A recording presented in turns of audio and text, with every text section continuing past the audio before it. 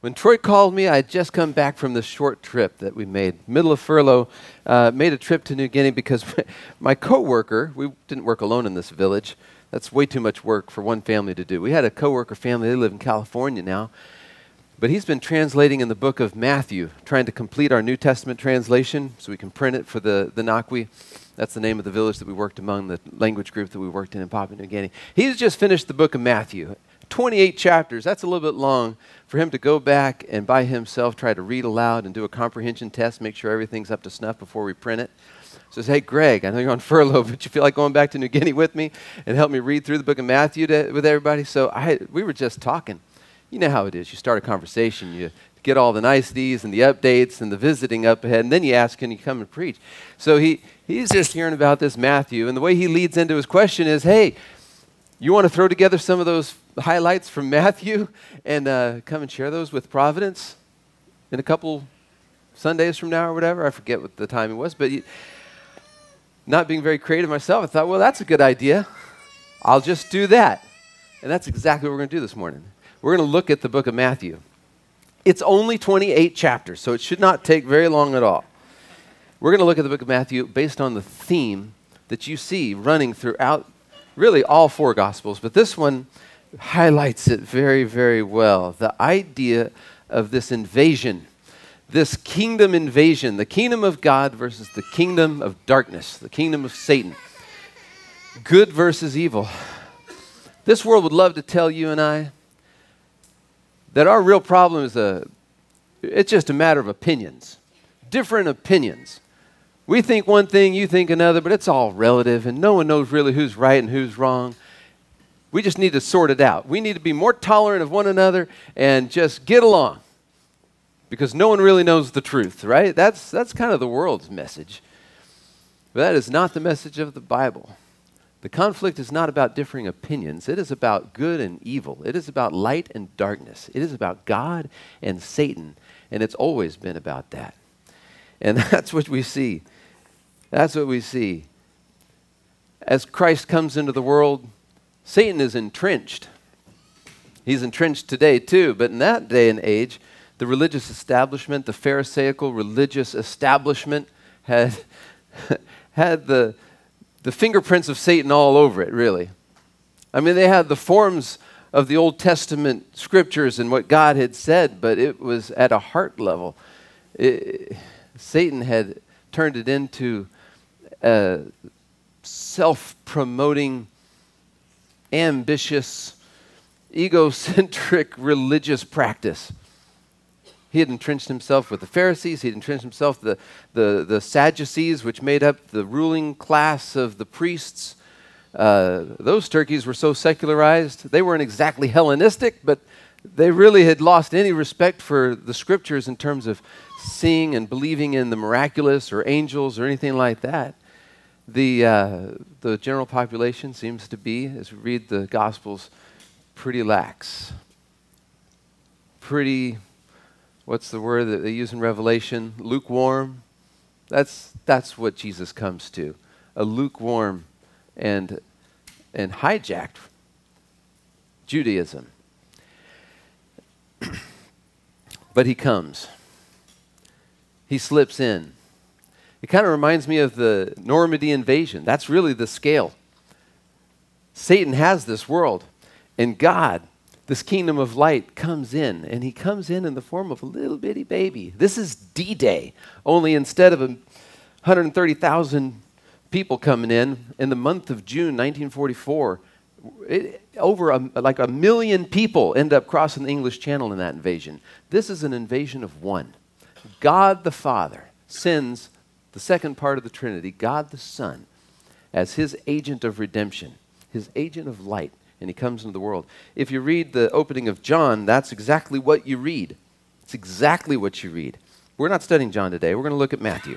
So, in Matthew, the first chapter opens up and it highlights this idea that Jesus is the descendant of David. He is the coming king who is going to be sitting on David's throne eternally. Chapter 2, it hits multiple points of how Jesus is the fulfillment of the Old Testament prophecies that he is exactly who was foretold in coming. Now, these prophecies that you read in Micah and Isaiah, and you'll read them in uh, book of Psalms, several of them, these prophecies weren't spelled out in black and white. This was a mystery. It was just coy enough, just subtle enough that in retrospect you can see exactly that this is who Jesus was supposed to be, who the Savior would look like, and how he would come into the world. But on the front end, you couldn't necessarily tell because Guys, this is a sneak attack. Like Eisenhower didn't telegraph to Hitler what his plans were for the invasion of Normandy, God is not advertising to Satan how he's coming and what he's going to do. This is, a, this is something he's unfolding slowly and over time, and it's going to have a real surprise ending. That's why he doesn't spell out everything. But we see in the second chapter of Matthew that he, he is born of a virgin, that he is born in Bethlehem. Now, that one they did actually see coming. Remember, the Magi came and they knew. They were able to tell him he's going to be born in Bethlehem, we think. But he's born in Bethlehem, that he was going to come out of Egypt and that he'd be called a Nazarene. And Matthew tells the story and he connects everything back to the Old Testament prophecies so that we can understand this is how he was foretold to come. When you get to chapter 3, I'll read the first couple verses of chapter 3. It says, In those days, John the Baptist came preaching in the desert of Judea and saying, Repent, for the kingdom of God, the kingdom of heaven, rather, is near. It's, it's arrived. It really has. No one's seen him yet. He hadn't been introduced, but it won't be long that he's going to point him out. Behold, the Lamb of God who takes away the sins of the world. The kingdom of God has come upon them. And uh, by the end of chapter 3, you see God Himself endorsing Jesus. Remember at the baptism? A dove comes lighting upon him, and in verse 17 it says, And a voice from heaven said, This is my Son, whom I love. With him I'm well pleased. Satan's on the alert now. Satan's been notified. Next thing you see in chapter 4 Satan takes him away. Actually, another gospel says that the Holy Spirit takes Jesus away to be tempted. And after 40 years, I'm sorry, 40 years, after 40 days, that's a different story, 40 years. After 40 days of not eating anything in the middle of this desert, Satan comes and gives him his best shot. In a scene that looks a whole lot like the Garden of Eden when, the, when Lucifer comes and tricks Eve into sinning, Satan comes and with three different attempts tries to get really, Jesus to do the same thing to change sides, to become loyal to Him. His third one is bow down and worship me. I'll give you this world. I can give you this world. This kingdom of darkness, you'll be my viceroy if you'll just bow down. But he's incorruptible. He doesn't fall, he doesn't take the bait like Eve and Adam did. Satan fails to darken this light from heaven that has come into the world. By the end of chapter 4, let's look at here. So I think it's uh, verse 16. Read verse 16 with me. Verse 16 and 17 says, it's really quoting Isaiah where he says, The people living in darkness have seen a great light. On those living in the land of the shadow of death, a light has dawned. Isn't that beautiful? Verse 17 then says, From that time on, Jesus began to preach, Repent, for the kingdom of heaven is near. And that is exactly what he came to do. He brings in healing and he calls some disciples into chapter 4. By chapter 5, he takes his disciples up on top of a mountain. And he gives them a sermon, which is really a repudiation, a repudiation of the Pharisaical practices of the time. The Jewish religion as it was practiced in that day, kind of point by point. He just keeps poking at them, poking at them this is wrong and this is silly and this is ungodly and this is not what it's about. Remember the Beatitudes? That's what he opens with. That really, guys, it's about the lowly, it's about the downtrodden, it's about the humble. Those are the people that are going to be blessed, that are going to be great in God's kingdom. Those are the people that will find God's joy and enter into his kingdom. It's not about elbows, eh, throwing elbows and trying to push your way to the top, trying to show off. It's not about one upmanship. It's not about your righteousness and standing on the street corners praying your prayers as publicly as you can and as loud to draw as much attention as you can. That is not what God is looking for. Look at uh, 5, verse 20. It says, For I tell you that unless your righteousness, this is Jesus talking to the crowds on the Mount, he says, unless your righteousness surpasses that of the Pharisees and the teachers of the law, you will certainly not enter the kingdom of heaven. Religious activities and practices will never, he says, get you there. Even the ones that are the best among you don't have a prayer. Your righteousness will have to surpass even the Pharisees. And you know that's the case. Our righteousness has to be the very righteousness of Christ if we're ever going to see the kingdom of God. And the only way you can have the righteousness of Christ is if He does this transaction where He imputes upon Himself your sin and then imputes His righteousness to you. It is by grace and through faith that we are saved, not of works, not of religious practices.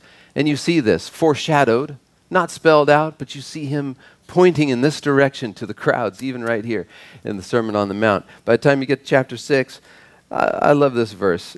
Well, the whole chapter is amazing. He's talking about it's not about your popularity, it's not about your earthly possessions, it's not about how comfortable you get or a ladder that you climb.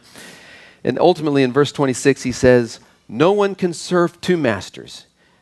This is where it touches on the kingdom. He says that no one can serve two masters. Either he will hate one and love the other, or he will be devoted to the one and he'll despise the other.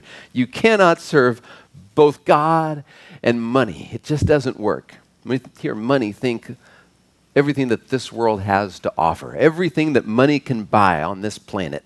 All the comforts, all the luxury, all the security, all the prominence, all the ego that you can afford. If you serve that, you can't serve God.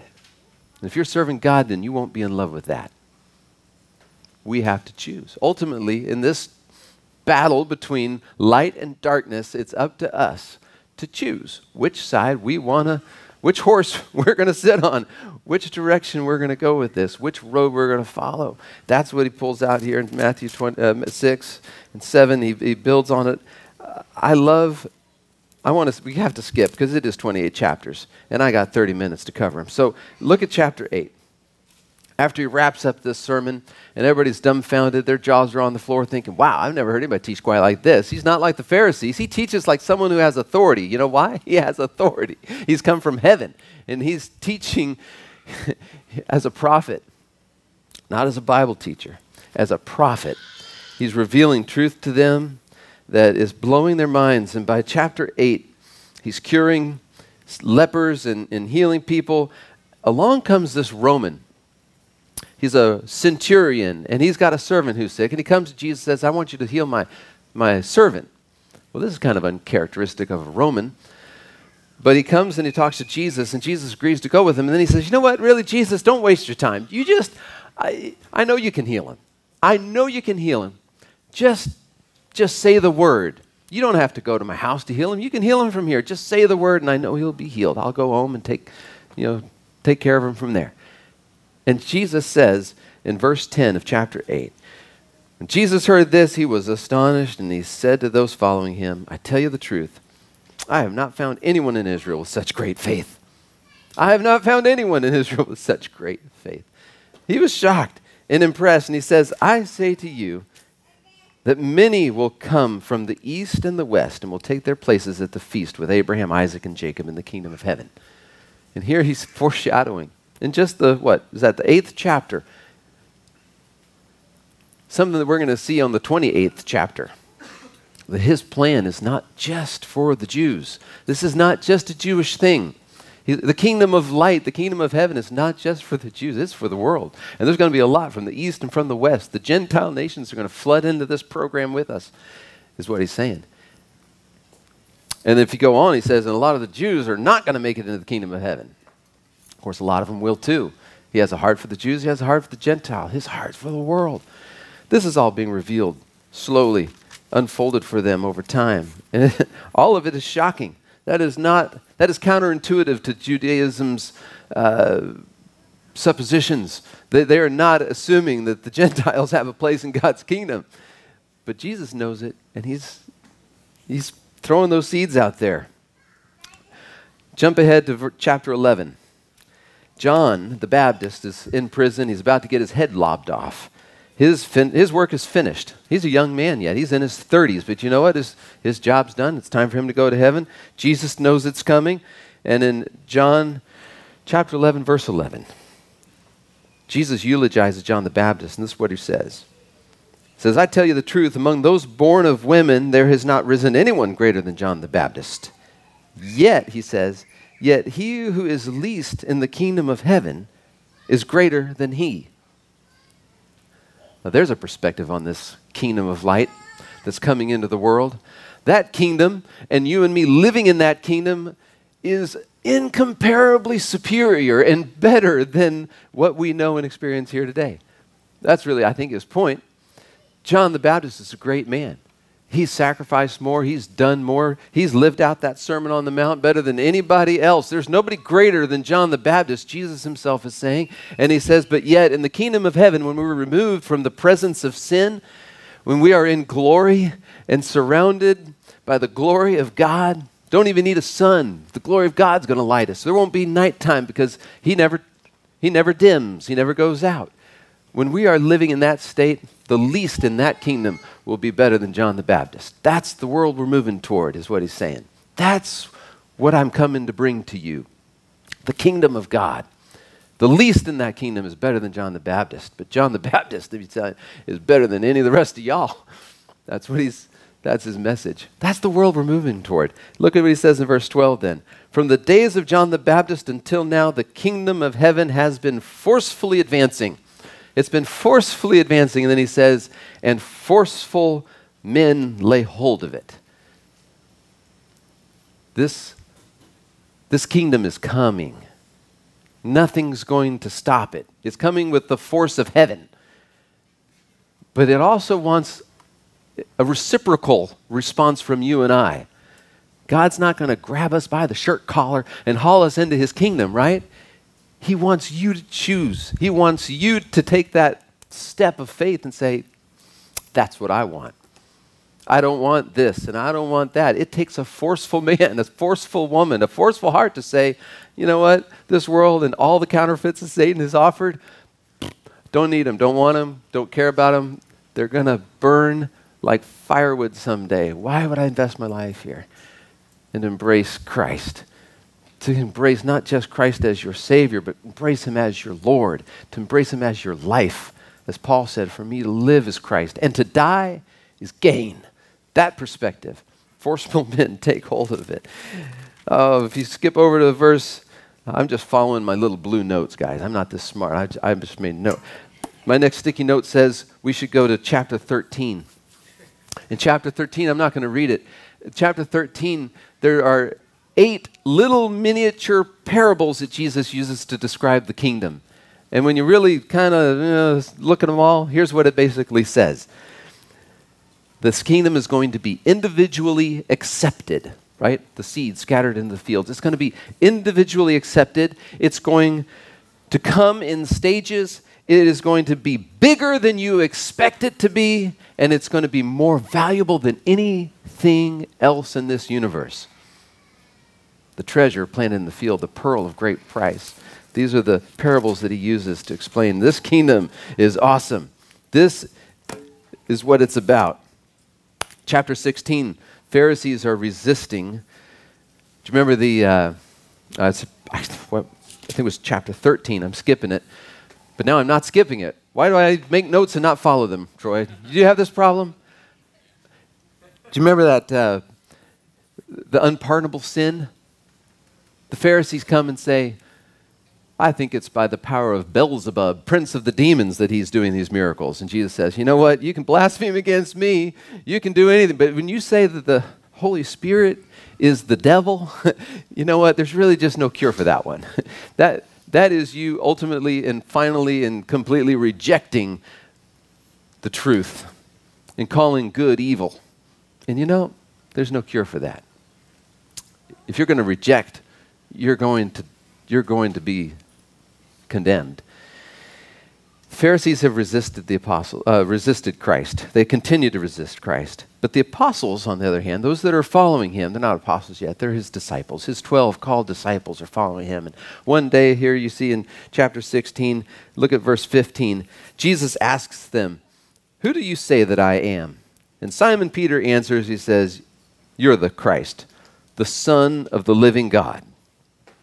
Jesus replied, Blessed are you, Simon, son of Jonah, for this was not revealed to you by man, but by my Father in heaven. And I tell you that you are Peter. It gives him a new name. And on this rock, that's what the name Peter means, I will build my church, and the gates of Hades will not overcome it. I will give you the keys of the kingdom of heaven. Whatever you bind on earth will be bound in heaven. Whatever you loose on earth will be loosed in heaven. Uh,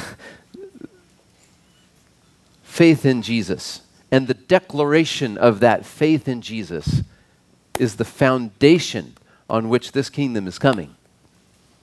Christ is himself going to be the cornerstone. The church is going to be built on top of that, but it's going to be built by people like Peter who believe and who tell others and keep adding to this structure, if you want to use that metaphor. Keep building this church and completing this bride, this eternal temple, the family of God. Peter is not himself the cornerstone, but he is the prototype of the guy who is willing to confess Jesus, I know who you are. You are the Savior, you are the Christ. My faith is in you. He says, On this bedrock I will build my church. Look at verse 19, though. I'll read it again, where it says, I give you the keys of the kingdom of heaven. Whatever you bind on earth will be bound in heaven. Whatever you loose on earth will be loosed in heaven. I think what he's saying here is, you guys, what you're going to be doing here on this planet, they don't know he's about to leave, but it's coming. But what you're going to do here as my missionaries, as my ambassadors, you're kind of like the immigration department for the kingdom of God. You could look at it that way, right? We work overseas. We have to deal with immigration departments a lot. Uh, the, the, you're going to be my consulars and my ambassadors here on this planet. And people are going to gain access. You will be this access. You're, the key. I think the metaphor of a key says this is the you're the access point and you're going to open doors and people will go to heaven. And you know what? By your lackadaisical approach to witnessing, you know what? Some people are going to miss it. I am entrusting to you the job of being my witness here on earth. And what you loose will be loose. What you bind will be bound in some respects. Not that Peter is supposed to choose, pick and choose who goes to heaven. I don't think we get to the pearly gates and Peter stands there holding the key, letting you in or not. He's saying that we as a church have this key. We are the access point for the gospel. God could have used angels to tell the world about him. He chose not to. He chose to give that key to you and me and make us responsible and give us the privilege of glorifying him and earning rewards in heaven someday for the effort that we put into that. Isn't that cool? It's right here in the 16th chapter of Matthew. Go to chapter 17, though. He goes up to the Mount, I don't know, the Mount of Transfiguration, somewhere in southern Israel. They go up top of this mountain, Jesus with three of his disciples, and he reveals to them this light, this glory, the glory of his true identity. His kingdom of glory is shown, and he lights up like a Christmas tree. That's not true. He doesn't light up like he lights up like the sun in all of its radiance. That's what he lights up like. It shows him his true identity. By chapter 19, Peter is asking Jesus about this kingdom and what kind of rewards he should expect. You know, he says, You know, we've left everything to follow you. I'm reading in chapter 19, verse 27. Peter answered him, We have left everything to follow you. What then will there be for us? Listen to Jesus' answer. He says, I tell you the truth, you who think you've sacrificed so much, right? Let me just tell you. At the renewal of all things, when the Son of Man sits on his glorious throne, you who have followed me will also sit on 12 thrones, judging the 12 tribes of Israel. And everyone who has left houses, or brothers, or sisters, or fathers, or mother, or children, or fields for my sake will receive a hundred times as much and will inherit eternal life. But many who are first will be last, many who are last will be first. This is the economy of the kingdom. You cannot outgive God. You cannot out sacrifice for God. What God's got in store for you and me is an eternal weight of glory that far outweighs, this is from Corinthians, right? far outweighs all of these light and momentary troubles. Right? You can never outgive God. This is our chance. I, I was listening. Mm, it was last. Uh, it was. It was. When was Easter? It was the Sunday after Easter. I was in California on my way back from New Guinea with my coworker, and we end up at his church. And the guy was preaching on the Sermon on the Mount, on the Beatitudes, and he was talking about that last Beatitude about those who suffer. The point he raised there at the very end of his message was so good. He realized he, he, he said, you know, this right now, this world that we live in, this is our only opportunity to suffer for Christ. You know, when we get to heaven, we're going to serve him, but we're not going to suffer for him in heaven.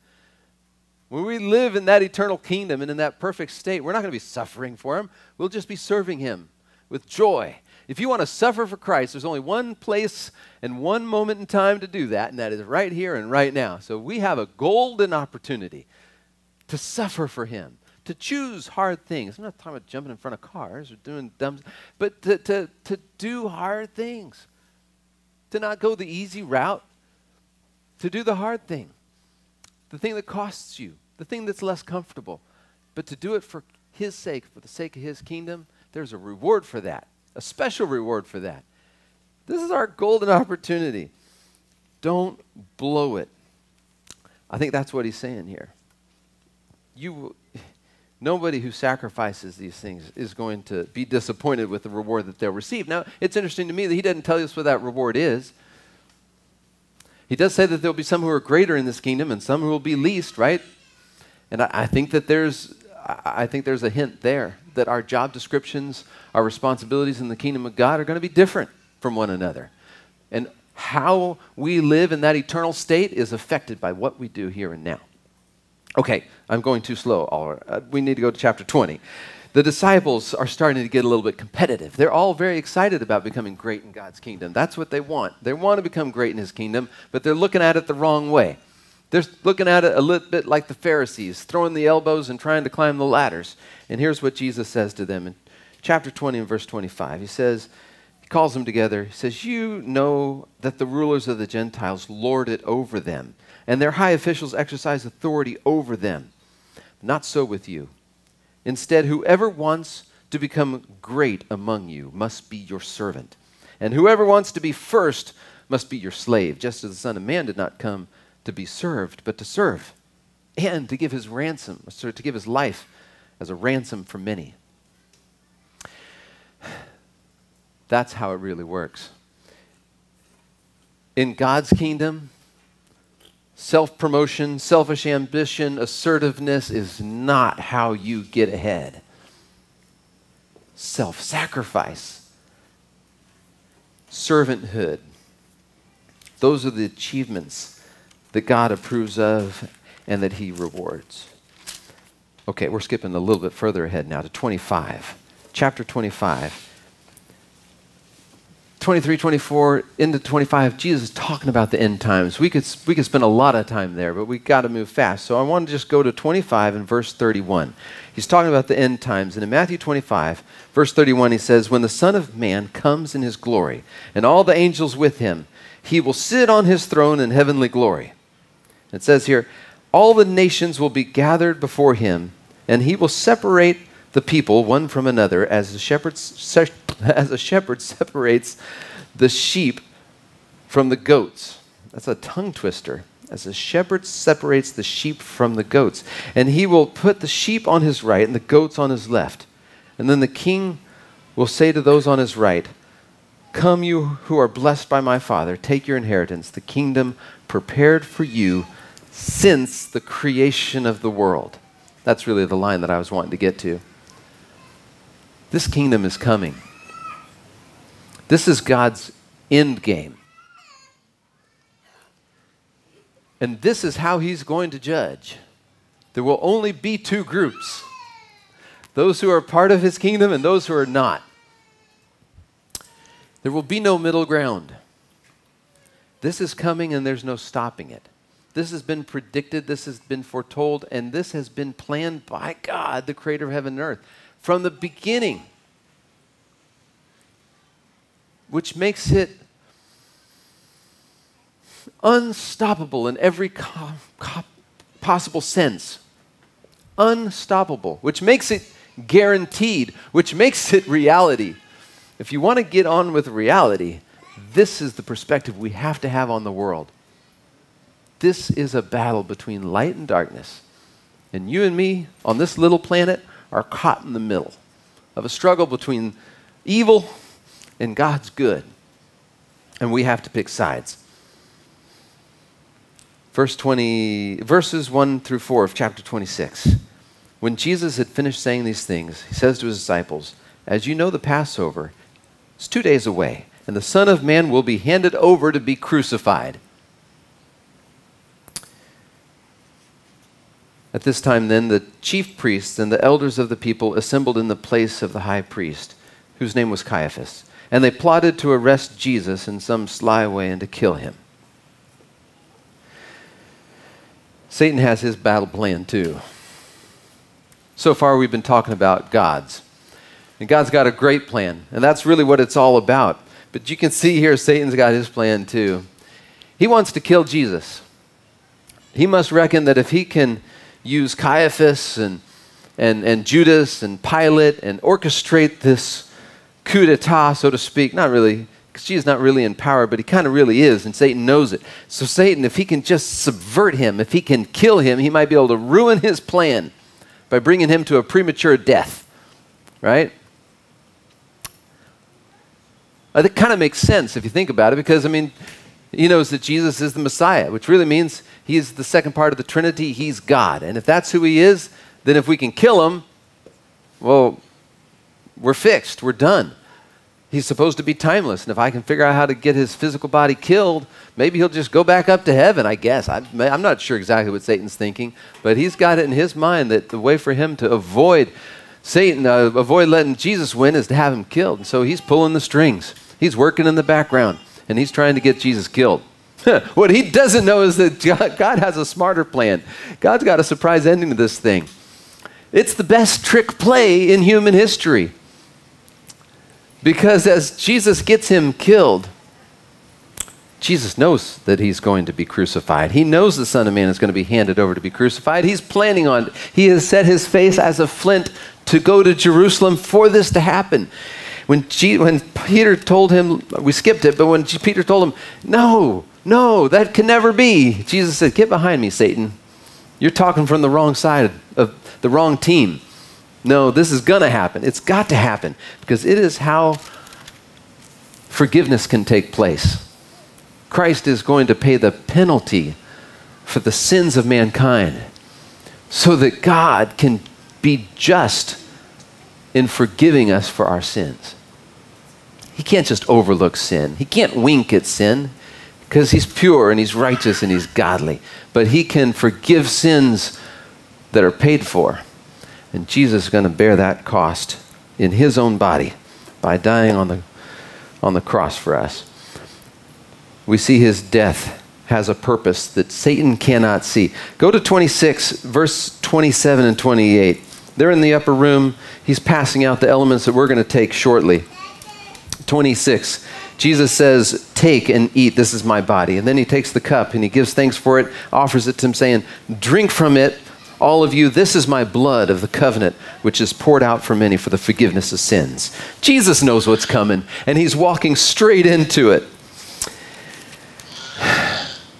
Then he also says in verse 29 I tell you the truth, I will not drink of the fruit of the vine from now until the day when I will drink it anew with you in my Father's kingdom.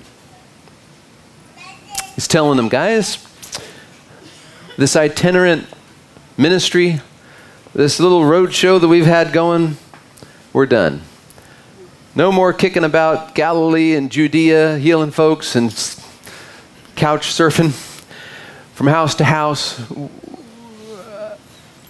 I'm not going to be I'm not going to be overnighting with you guys anymore. We're not going to be having dinners together anymore. At least for a while. Not until that day when we come into my kingdom together. And that day we will pick it up again. Wouldn't that be awesome? I'm looking forward to sharing a glass of wine or whatever the equivalent is in the kingdom of God. It'd probably be better than wine, don't you think? The nectar of the gods, right? It'll be awesome, whatever we're drinking up there. It's figurative. It's, it's about the fellowship. It's about, I'm, I'm, I'm not going to be sitting at the table with you anymore until then. But to sit around the living room with Jesus in the kingdom of God, that's going to be pretty good. It means that this phase of his ministry is coming to a close, and he knows it. Chapter 27, verse 11. 27:11 says, "Meanwhile, Jesus stood before the governor. This is after he's been arrested. He's been taken to the Pharisees. They've taken him over to Pilate. The governor Pilate now asks him or is talking to him. He asks him, "Are you the king of the Jews?" And Jesus answers, "It is as you say." Okay, I am going to go to the book of John just a little bit because a more complete answer uh, of Jesus's is given in John chapter 18. He says, It is as you say, but he says, My kingdom is not of this world. In other words, I am not in competition with Caesar. I'm not here to overthrow Caesar. I'm here to overthrow Satan. He's not explicating that he's overthrowing Satan, but you and I know that's his real mission. He is not in competition with Caesar, he's in competition with Satan. They crucify him. Above his head is a sign that reads, Jesus, the King of the Jews. It's written in three languages because this is the message that the whole world needs to know. Pilate didn't know that this was God's plan, but this is how God orchestrated it. Jesus is crucified as the king of the Jews, and that is who he is. He's the king of the Jews, he's also the king of the Gentiles. He is the king of all of Abraham's spiritual children, and we are a children of faith. We are those who come to him in faith and say, You are my Savior. You are my righteousness. There is no way that I can be clean before the eyes of God without you, Lord Jesus. He's buried in chapter 28, three days later, he rises again. He appears to his disciples. It's an arranged meeting in Galilee. It's what he told the girls when he met them there in the Garden of Gethsemane. Uh, was it the Garden of Gethsemane? Whatever garden the tomb was in. I can't remember what garden that was, but they mistook him for a gardener. And he said, Tell the guys, meet me in Galilee, back where this all started, back in the place where I called them to begin with. We're going back. I have something I need to tell them when I get there. They go to Galilee, they meet with him. This is chapter 28, verse 18. Jesus came to them and he said, All authority in heaven and on earth has been given to me, and therefore go and make disciples of all nations, baptizing them in the name of the Father and of the Son and of the Holy Spirit, and teaching them to obey everything that I have commanded you. And surely I am with you always to the very end of the age. Of course, then he left him. he tells them, Your job, he already alluded to this, you're going to be my ambassadors. You're going to have the keys to this kingdom. I want you to be the access point. I want you to go to the entire world. Now, where's the map? You know, the entire world, they only realized, you know, between India and maybe Great Britain from not they didn't know sub-Saharan Africa. They only knew the Sahara and north up to maybe the Baltics. That was the world. That's all they knew existed. God knew there was more to it than that. But you can understand why the apostles thought that Jesus might come back in their generation. If the 12 of them plus the others that were around, I mean, if everybody spread out, we could reach the world pretty quick. They reckoned they could probably reach it in their generation, and they did. Some of these apostles went to Africa, some went as far as Persia. These guys went. There's churches that date back to, was it, who went to India? There was one that went down, they, they spread out. Paul was trying to get to Spain, right? They were going for it because they wanted Jesus to come back and they were doing his job. They didn't realize that there was a whole couple other continents around on the other side of the globe. God knew that. He knew this wasn't going to happen in their generation, but he didn't tell them that. He might know it's not going to happen in our generation, but he doesn't tell us that. And so we push to see the ends of the world reached within our generation. Here's what's really cool, too, guys.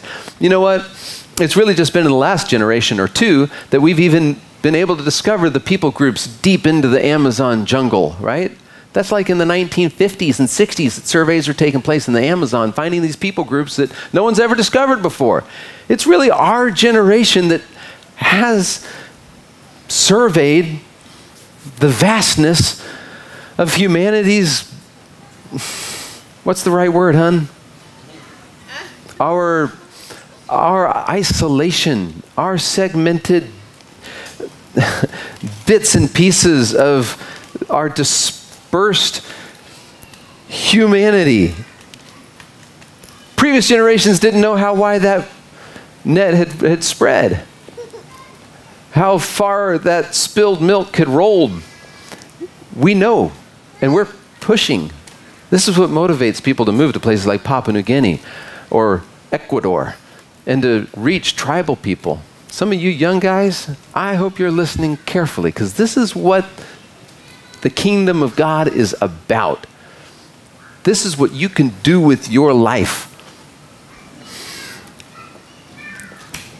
To create friends in heaven and to create a reward for yourself in heaven that will far outweigh any challenge, any difficulty, any, any inconvenience that you'll experience in this world.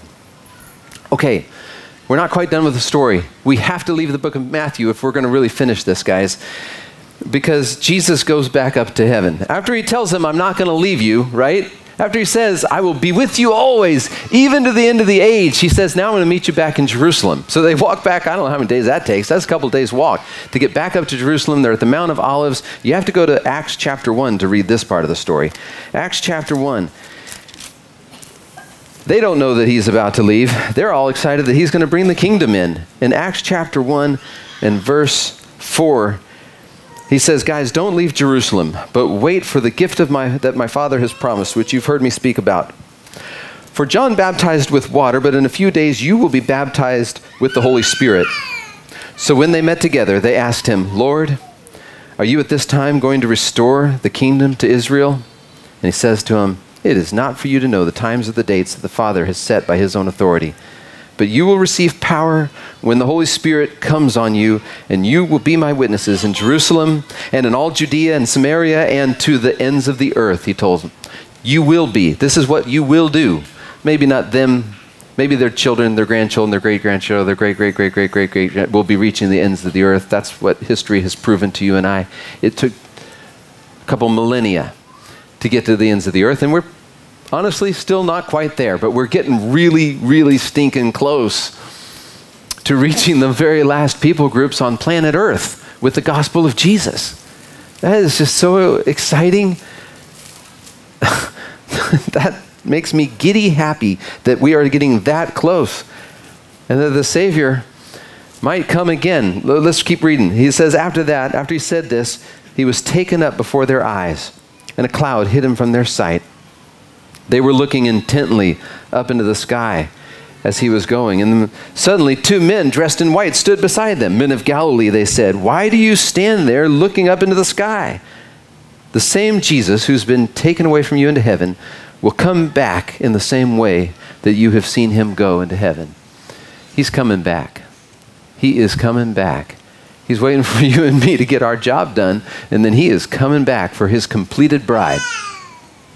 And you know, Jesus wasn't any liar when he told him, I will be with you always, because the Spirit of God did come on the day of Pentecost. Spirit of God, also the Spirit of Christ.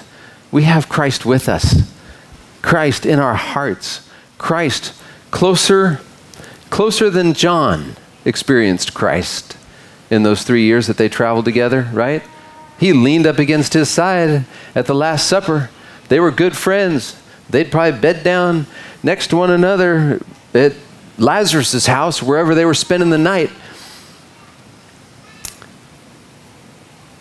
But Jesus didn't live inside of his heart. He just walked next to him on the road. We have Christ in our hearts everywhere we go, anywhere in this planet. And He is the life force behind His church as we reach and teach, as we disciple, as we love this dark world. As we spread this light, this kingdom, in a spiritual sense, to the uttermost parts of the world, Christ will come back And He will bring, in a physical sense, this kingdom into a reality that will last forever. In your bulletin, I think we've made lots of little applications, but they haven't been the focus of our time. But you have homework. This is your homework assignment. These are the real applications. And whether you're in a small group and you talk about these, or if you don't attend small group, I would hope that you'll just read these questions.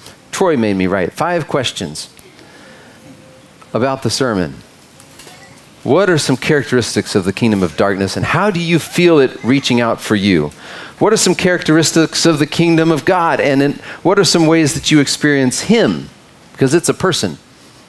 God reaching out to you. Does the promise of a reward in heaven motivate you? It should. If it, the follow up there is why or why not? I want y'all to think about that one. What are ways you struggle to prioritize God's kingdom? And last question is how does God's kingdom give you perspective for life today and hope for eternity? A proper view of the reality that we live in the middle of is exactly the medicine we need, is the prescription we need for a successful life. So, God, we just close asking you to give us your perspective. Help us to help us to remove ourselves from the circumstances of Cypress, Texas, to, to look as if we were standing in heaven down upon this earth and to visualize what you're doing and where we fit into your program, Lord. Help us to see what we can do and how we can be a part. We want to make our lives count. We want to do something for you that, that matters for eternity. And that is our prayer. We ask this in your Son's name, Son, the name of Jesus Christ. Amen.